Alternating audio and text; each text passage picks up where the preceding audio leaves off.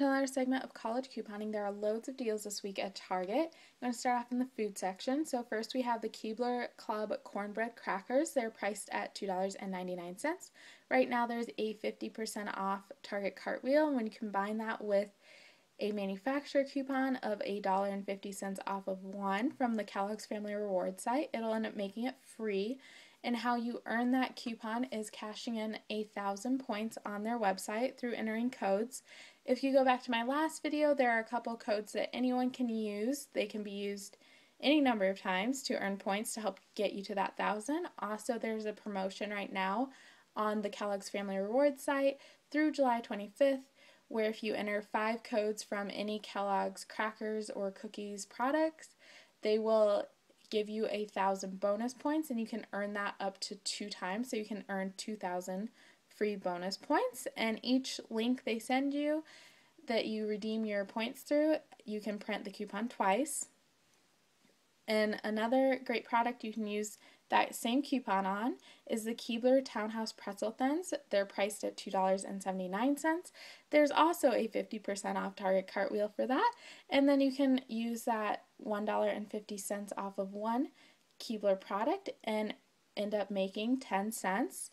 If you don't have the 1,000 points to get that coupon, there was a manufacturer coupon in the Red Plum inserts on June 29th for a dollar off of two Keebler products.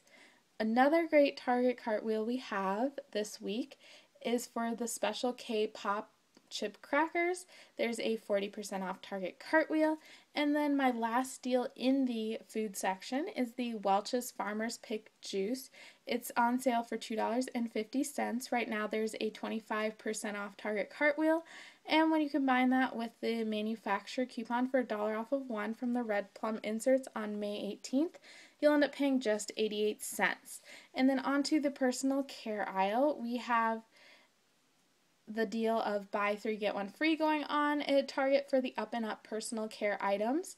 So you'll find the liquid hand soap, the nail polish remover, and then the 100 count cotton ball. So not the 200 count, but the 100 count, all priced at 97 cents each.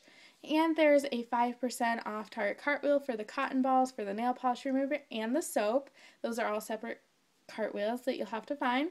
And then there are Target coupons on the Target website for 50 cents off of a purchase of $2 or more for the soap, for the nail care, and for the cotton balls. Those are all separate coupons. The cotton ball coupon is no longer available on Target.com, but you may have printed it previously and you can still use that if you buy four of any of these products separately, so if you bought four liquid hand soaps, the price would come down to 57 cents per item you buy when you buy four like products and use the coupon and the Target cartwheel.